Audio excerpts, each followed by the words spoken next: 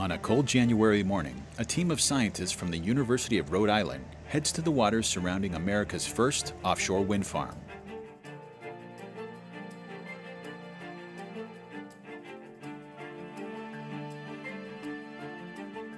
They're studying sea life around the structures that lie just a few miles off Block Island.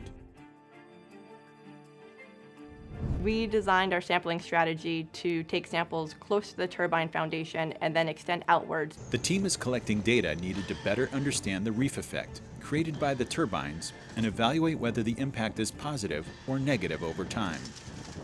Overall, the colonization of the structure happens relatively quickly, and the change in the bottom community can take four or five years to really show up. A grab sampler collects small chunks of the seafloor that are carefully evaluated for any life. We knew we had to take a lot of samples to be able to accurately detect change.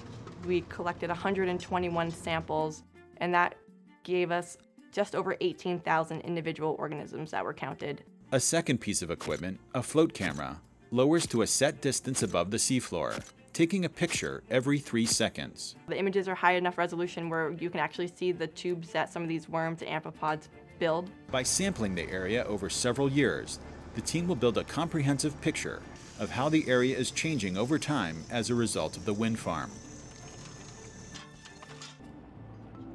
Nearby, a second team of researchers from the University of Rhode Island and Woods Hole Oceanographic Institute are deploying hydrophones to monitor underwater sound created by the wind farm. The team evaluates both the volume and spread of sound generated by the wind farm's construction and operation. And, and it allows us to assess whether this is uh, injurious to animals or, or people. Getting good data requires extensive sampling to account for the many factors affecting sound underwater. That involves the shape of the seabed and the shape of the subsea floor, the ocean temperature and, and salinity and currents. These studies are part of a comprehensive project funded by the Bureau of Ocean Energy Management to monitor the wind farm.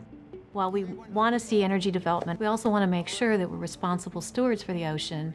And so with this first wind farm, it was the opportunity to go out and make those measurements. Everything from the laying of the cable to connect the wind farm to the power grid to each stage of construction and operation of the wind farm is being studied. You can take that information and you can put it into your predictive models of what will happen in the future. Initial models predicted a fairly large sediment plume would be created laying the 25 miles of undersea cable to connect the wind farm. But monitoring the operation with acoustic backscatter sonar showed the plume was actually too small to detect. So it's important to get that real information so that our predictions in the future are better. In other cases, the predictions from the models have turned out to be correct. For instance, the airborne sound from the spinning turbines was verified to be inaudible from Block Island. We have taken measurements over approximately three months, and we weren't able to detect the, the turbines at that distance at all. The underwater sound from operations has turned out to be relatively minor as well. It was less intense than a, than a fishing boat going by. And the construction activity appears to have little long-term physical impact on the seabed. The features that were made are kind of ha half-healed already. But one effect of construction the scientists knew would be significant was the sound of pile driving to anchor the turbine foundations to the seafloor. Is something that occurs over a fairly short period of time, but that's where you have probably the most disturbance to the environment. And so with this first wind farm, it was the opportunity to go out and make those measurements while it was being constructed. Above the water, the sound was clearly audible and quite loud close to construction.